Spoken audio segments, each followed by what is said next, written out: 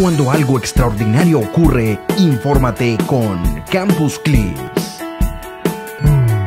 El pasado 6 de septiembre se llevó a cabo la capacitación en transparencia y participación ciudadana para el control social. El conversatorio tiene como propósito generar herramientas que tanto, para que tanto los veedores como los estudiantes como los eh, ciudadanos en general que interactúan con la entidad eh, tengan conocimiento sobre cuáles son los derechos que tienen como ciudadanos para ejercer su derecho al control social y también que cuenten con herramientas para saber cómo planear los procesos de veeduría y también conocer cómo la entidad está obligada a planear y ejecutar estas actividades.